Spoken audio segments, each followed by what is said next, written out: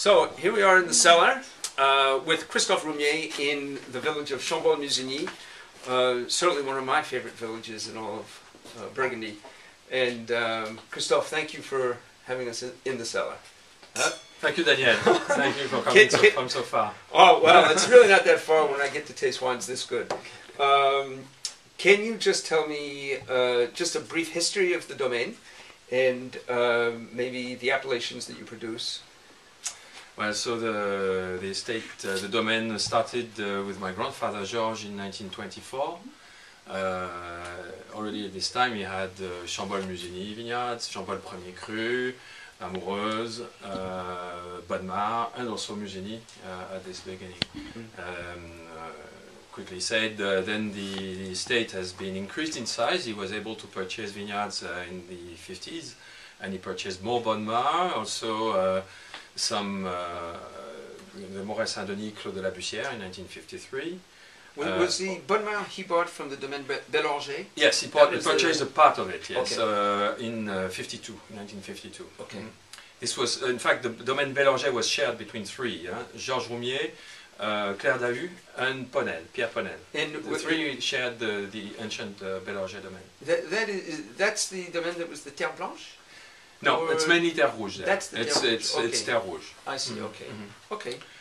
And uh, my father then was able to also purchase a piece of Corton Charlemagne additionally, so that's the single, the only white wine of the estate. And that's on the Pernand-Vergelesses It's side. Pernand-Vergelesses, uh, exactly. Mhm. And uh, I also have now leased um, vineyards in, uh, for long term uh, in Charmes-Chambertin and Ruchottes-Chambertin as well. So Wonderful. that's uh, that's about the 12 hectares of Chambolle of, uh, of the estate, 12 hectares. And um, uh, is there any particular style that you that you want to express in your wines? Um, maybe what you're looking for, or do you just respect the, the vintage and the appellation, or what, what are you looking for in your wine?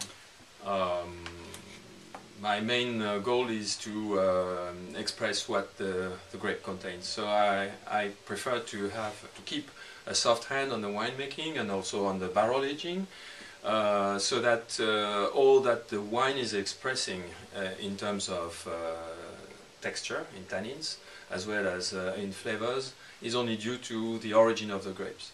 So um, I extract little. I do not use so much of, of a new barrel to, to not to not disform the wines. I prefer light light-bodied wines rather than big stuff. In fact, hmm And uh, in the vineyard, are there any particular uh, treatments or techniques or uh, any work, special work in the vineyard? I don't believe so. no. I've uh, given up with uh, I've given up with any weed killers uh, more than 20 years ago.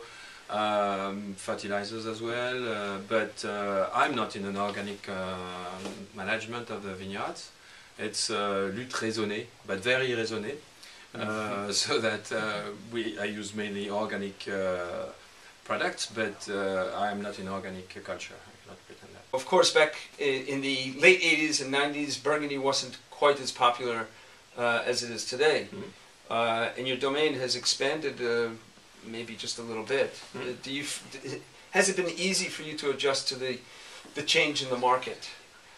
Uh, how do you Um, feel the direction is going with Burgundy? And I think mainly we have not changed so much the marketing. In fact, uh, the customers remain almost the same.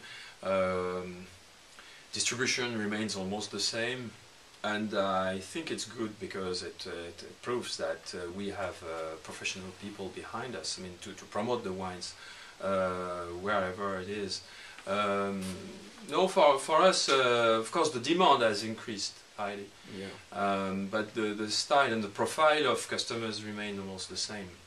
But I, I think that uh, one thing that I love about Burgundy and the Bourguignon is this loyalty to tradition and uh, to the clientele and continuity. And I've always found that there's um, there's this honesty and commitment to um, to the wine and uh, not on the market, Mhm. not the commercial Mhm. side. Mhm. Although of course commerce is very important to the We need. success of the domain. We need that. But you still, uh, you and of course other domains I'm visiting, have remained very true to uh, the spirit Mm. of Burgundy, which Mm. of course I fell in love with, and that's sharing and uh, Mm. and uh, the friendship. We, we, we like our customers, in fact. We like them, and that's why we make such wines. Also, it's to please them because we like them. I mean, we want to keep them. I mean, it's uh, it's uh, it's a, yeah, it goes in the two the two ways. Uh, it's a two ways rela- uh, relationship. Well, I hope that you will come back to New York and, and visit visit Sure. us.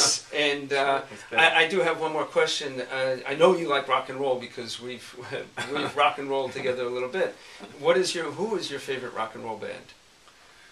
Who I like, uh, love you. Uh, it's not rock and roll. Then it would be more like uh, U2. Uh, Oh, yeah. I like you two very much. It's I- I probably one of my favorite bands. Um, and I know you have another favorite band. You call? Uh, you mean uh, Rolling Stones? No, how did you know? okay, merci.